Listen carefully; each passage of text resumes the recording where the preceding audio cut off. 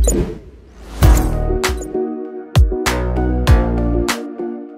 namanya juga seru-seruan lah. Kolaps itu mah kolaps seru-seruan lah. Masa ya kita kan bukan zamannya Siti Nurbaya gitu. Loh pikir aja pakai logika. Apa apa rame berarti ada yang memperhatikan ya alhamdulillah. Yang terpenting ya semoga aja terhibur lah gitu. Jadi nggak ada niat kayak ada bilang Parto gimana gimana Ya. enggak nggak ada Tapi kalau jadi beneran gimana Kang? ya itu kan Tuhan yang tahu kita nggak bisa memprediksi ikinya juga ya biasa aja seru aja Hmm. Oh itu rahasia, mohon maaf ya. Saya juga tidak akan menanyakan kedekatan Anda dengan kameramen. Ya, gitu. Saya mah tahu dari kecilnya anak baik. Sama Iki juga dulu temen deket dia malah nggak mungkin. Itu mah buat konten aja. Jadi buat netizen janganlah pada baper-baper lah. Ini cuman buat menghibur aja gitu. Nggak ada yang lain-lainnya. Senang-senangan aja, seru-seruan lah. Saya nggak pernah mm, ada kriteria apa pun itu terserah anaknya memilih siapa pun pendampingnya. Saya nggak pernah ikut campur urusan anak.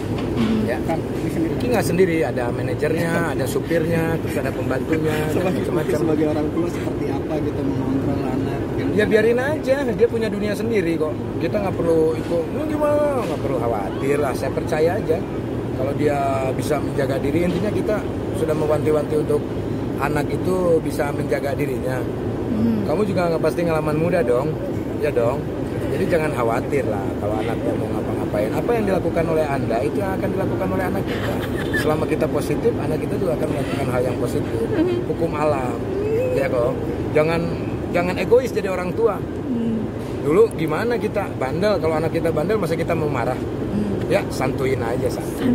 Ya ada ada curhat. Dia bilang aja dia pacaran sama siapa dia bilang. Oke. Dia suka sama siapa dia ngomong. Oke. Dia putus sama pacarnya dia ngomong. Itu aja terbuka dia. Kalau di rumah juga dia nggak pakai apa-apa loh. Kok ini kamu terbuka ya? Gitu. Yakin dia, dia jujur, dia terbuka apa pun. Dia apa pun ngomong. Uh, hal masalah pekerjaan dan yang lain-lain. Terus dia kalau misalkan nggak senang dengan eh, apa pegawainya, kurang apa dia suka cerita. Oh. Kalau menurut aku su- Iki belum sukses ya. Oh, Belum ukuran sukses. Sendiri ya Ya. belum. Sukses itu kalau menurut aku ketika dia sudah menutup matanya dia sudah hilang dari dunia ini nama dia masih harum dengan kebaikan-kebaikannya yang positif itu baru sukses.